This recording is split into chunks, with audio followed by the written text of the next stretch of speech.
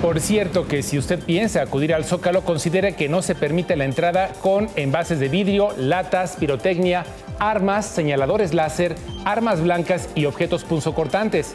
Todo el circuito de la Plaza de la Constitución está cerrado con vallas metálicas.